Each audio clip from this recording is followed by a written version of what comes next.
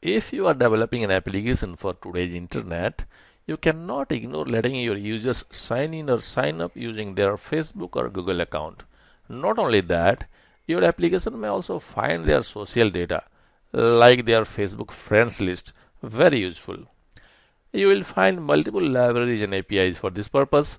For example, if you are from the Java world, you might consider Spring Social, Social Auth or Scribe. Uh, this tutorial is about Spring Social which I feel is the most powerful and flexible one in the Java world today. So, let me introduce myself. I am Sanjay Patel. I have about 20 years of software development experience.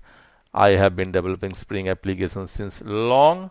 I have also authored a few highly rated video tutorials around Spring Framework and I blog at naturalprogrammer.com where you can find more about me. Here in this tutorial, we are going to code a sample application to let users sign up and sign in using their social accounts and we are also going to access their social data like their Facebook feed. The next video which is a free preview video shows the finished application running and so please have a look at that and you will know what exactly we are going to develop. Apart from Spring Social, we shall be using Spring MVC, Spring Security and Spring Boot in the sample application and so you should have a knowledge of Spring Framework 4 and all these.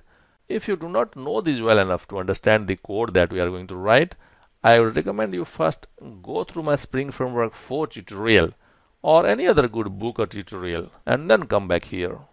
So, if you decide to use Spring Social in your project, do take this course to get up and running fast.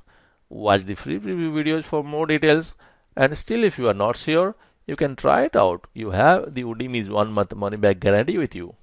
So, see you in the next lecture.